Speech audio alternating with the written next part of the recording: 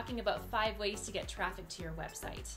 Those five ways are first, direct traffic. Those are people who are already familiar with you and they type in your URL and head straight to your site. Second is organic traffic. These are people who use keywords in search engines in order to find your site.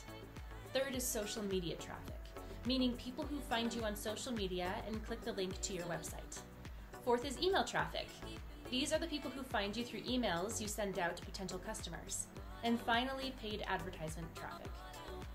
These five venues are integral to your business success, and there are a number of ways you can optimize on each one. Go ahead and take a look at this week's EAP blog and learn how to drive more traffic to your site. We'll go over keyword searches, successful paid advertising, social media marketing, drip campaigns, and so much more. Thanks for listening. We'll catch you next time. Thank you.